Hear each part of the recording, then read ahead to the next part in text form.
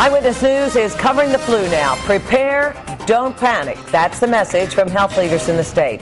Here are the latest developments. Yesterday, the Department of Health confirmed 12 year old Victoria Souza did have H1N1 when she died on Monday. However, the agency is not saying whether that is the cause of her sudden death.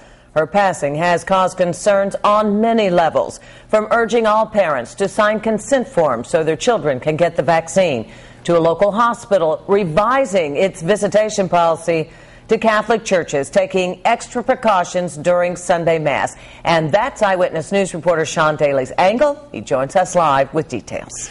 Yes, Karen, in the most heavily Catholic state in the country, the leader of Rhode Island's faithful today added to his duties, passing along safety tips against the H1N1 flu virus. Alleluia. Devout Roman Catholics look for the hand of God for protection in all aspects of their lives, but even so, Bishop Thomas Tobin is asking his flock to take extra precautions against the H1N1 flu virus. It's not necessary to announce the sign of peace. And if they do announce the sign of peace during Mass, it's not necessary to shake hands or, or to embrace somebody, but a simple gesture or even just a moment of prayer would, would suffice. Uh, we're suggesting that they might consider um, placing hand sanitizers at the door of the church.